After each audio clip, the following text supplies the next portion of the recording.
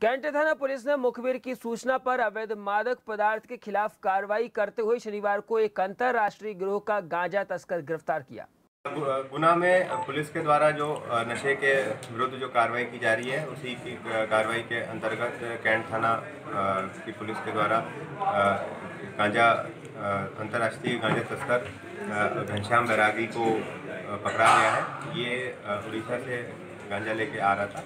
और इससे लगभग बाईस गांजा जिसकी कीमत लगभग दो ढाई लाख रुपए है, वो बरामद किया गया है। ये अंतर्राज्यीय तस्कर है जो कि उड़ीसा से गांजा ला के मध्य प्रदेश, राजस्थान और बाकी अन्य जगहों पर सप्लाई करता था। तो इसको पुलिस ने मुखबिर की सूचना पर गिरफ़्तार किया है। इससे और पतासाजी की जा रही है और जो भी स्रोत हैं उसके बारे में पतासाजी सर, ये ट्रेन में वेंडर था, ये बता रहे हैं, मूंगफली का वेंडर था। हाँ ट्रेन में ये चना मूँगफली वगैरह बेचने का काम करता था जो कि जिसके उसी के दौरान अन्य तस्करों के संपर्क में आ गया और वो भी इसी काम में शामिल हो गया। तो जिसको जिसकी पुलिस को सूचना मिली और फिर पुलिस ने उसको गिरफ़्तार कर लिया और जो भी गांजा था